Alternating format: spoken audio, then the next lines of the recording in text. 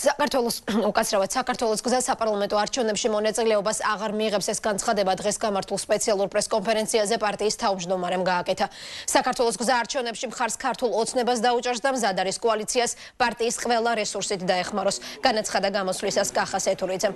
მისი განმარტებით არჩევნებში მონაწილეობაზე უარის თქმის გადაწყვეტილება საქართველოს გზამ დამოუკიდებლად სხვა პარტიებთან კონსულტაციების გარეშე მიიღო.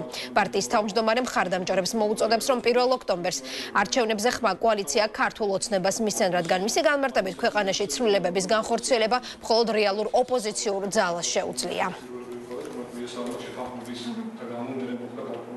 პარტია საქართველოს გზა ზრობს და ქვეყნისა და ერის წინაშე პასუხისგებლობას უარს აცხადებს არჩევნებში მონაწილეობაზე.